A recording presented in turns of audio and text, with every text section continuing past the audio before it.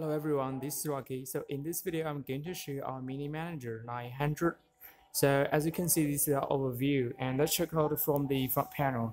So here we have an LCD screen here. So we can see the current switching status and this is the input and output part. So as you can see here, we can support 9 inputs and 9 outputs. And this part will be the control part.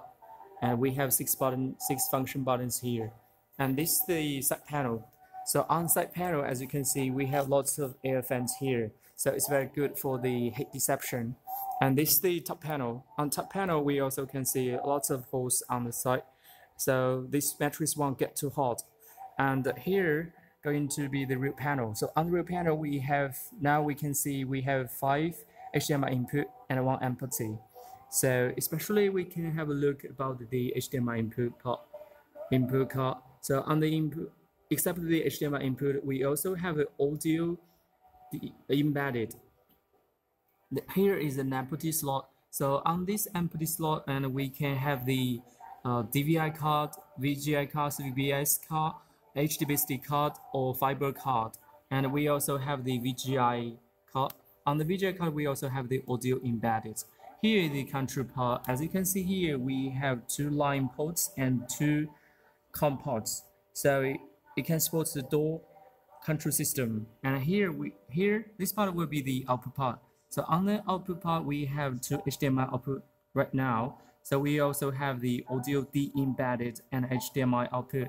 So let's check out the audio D embedded.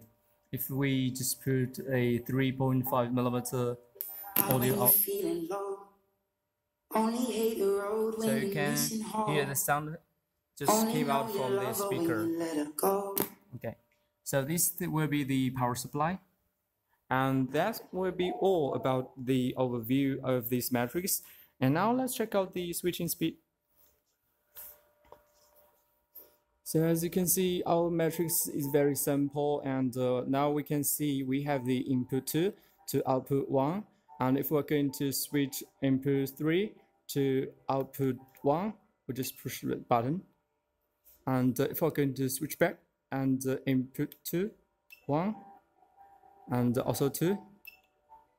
So as you can see, you can support the seamless switching and export and no black or blue screen during switching.